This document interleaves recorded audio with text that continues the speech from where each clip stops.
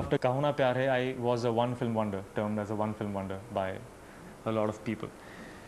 Uh, then suddenly after K3G, I became a two film wonder.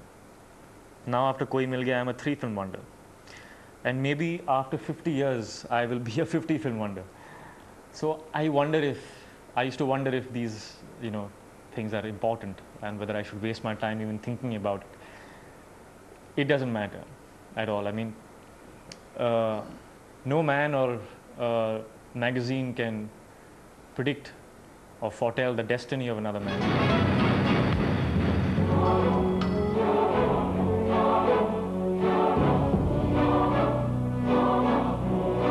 Living up to the expectations of my father was the, the biggest thing in my mind.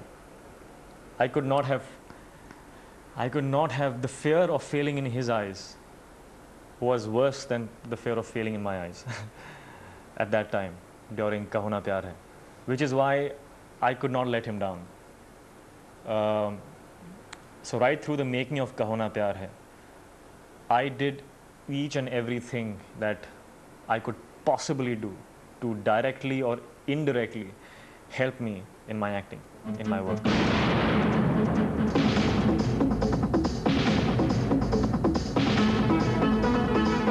I worked with my father as an assistant for six years before I really faced the camera with him.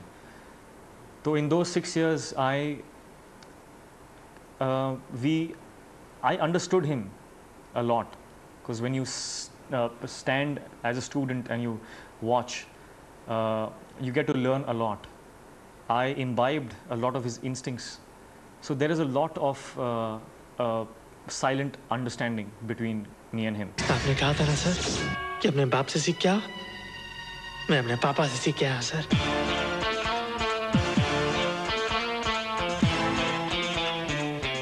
Koi Mil Gaya was not consequence of my fail films as in the concept the idea of Koi Mil Gaya came right after the success of Kaho Naa Pyaar so it was not determined or, you know, from okay, what to do now.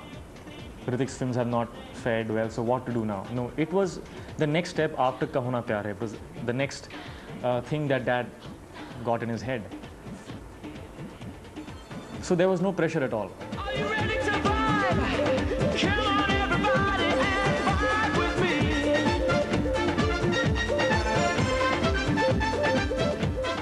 me. It was, I think, my most heartfelt performance till date. A lot of times in my previous films, even with Kaho Naa Pyaar Hai and all the other films that I've done, I've always, you know, uh, when the film was about 90% complete, I used to have, you know, I, I used to gauge the minimum and the maximum that this film could do. And then I used to cut off from the film.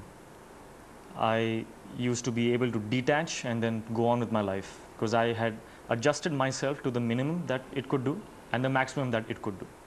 So I was okay with both. I used to get okay with both and I used to carry on with my life. But for the first time in my life with Koi Mil Gaya, I have realized that I was so attached to it that I could neither determine the minimum or the maximum and I could neither detach from it.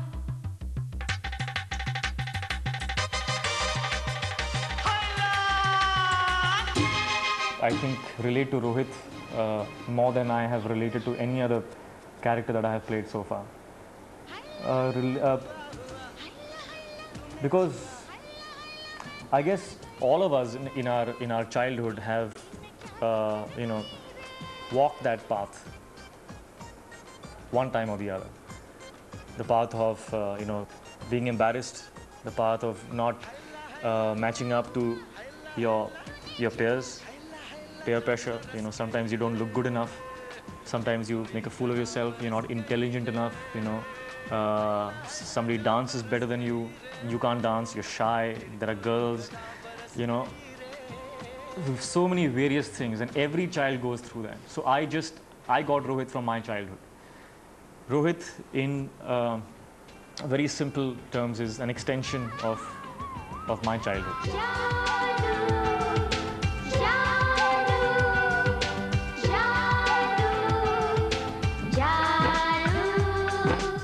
I think I had put in so much.